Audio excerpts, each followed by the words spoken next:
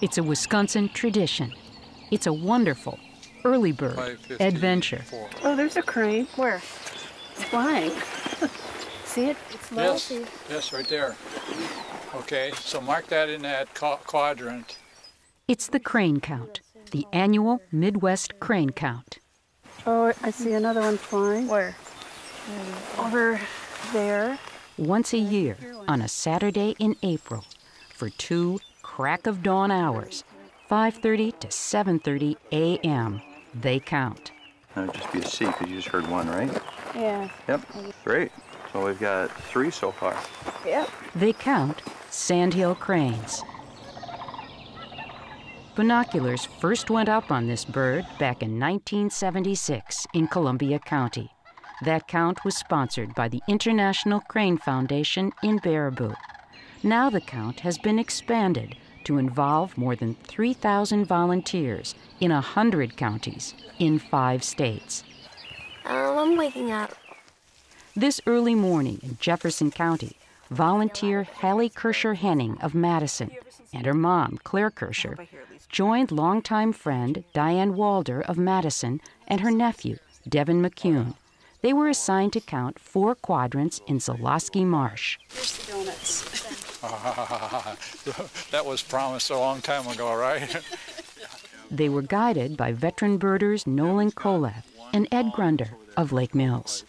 The day starts before dawn with a quick class in crane calls. Okay, here's Sandhill Crane.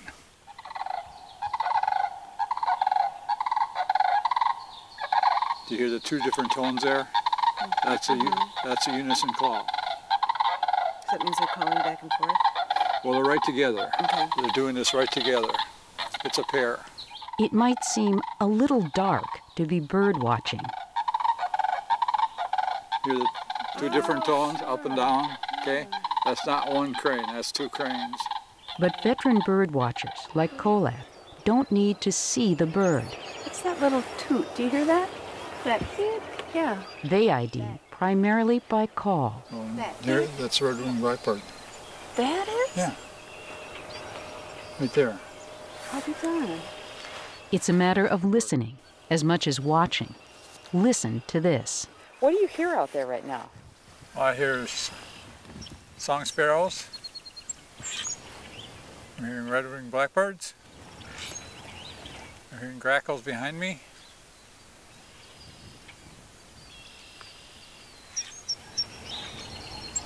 That's the song sparrow again.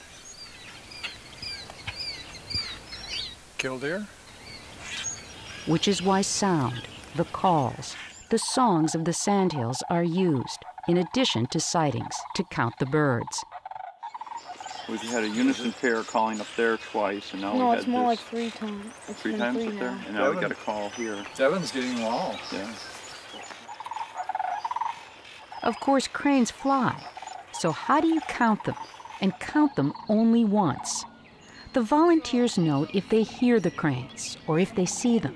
They note the time and the direction the crane is flying through each of their assigned quadrants.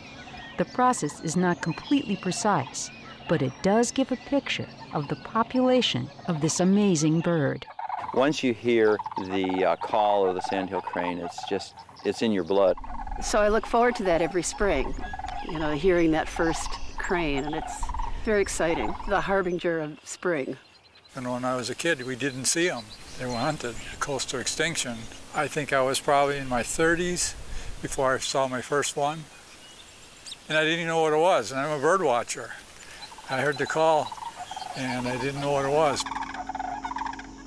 It was just incredible that comeback story, success story. The sandhill crane count had just dwindled to such low numbers. The numbers now are, are just incredible how they've come back. This bird was nearly gone in the 1930s. It's estimated that Wisconsin had just 25 nesting pair. With the right habitat, it's taken off. The most recent count was over 13,000 in Wisconsin. Habitat matters. This place, Zeloski Marsh, is a testament to that.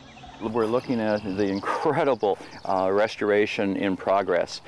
It was a wetland in the early 40s. It was drained and turned into a muck farm by the Zawadzki family, and uh, it was potatoes and mint and onions were growing here for years. And then uh, in 2005, it uh, was purchased by the Madison Audubon Society. And the Society set into motion this current day restoration. Drains were closed, basins filled, and the marshland returned and so did the wildlife. Oh, it's just been incredible.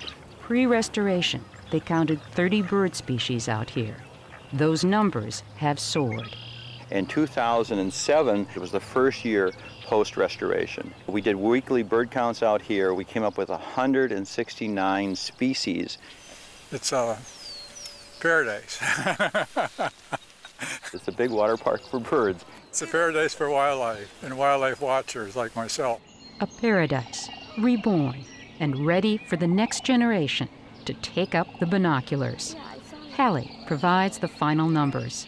Well, today we saw 22 total cranes, and then last year they only saw 18, so we beat a new record by four. Um, and then last year there was five breeding pairs, and this year there's seven. So that's really exciting.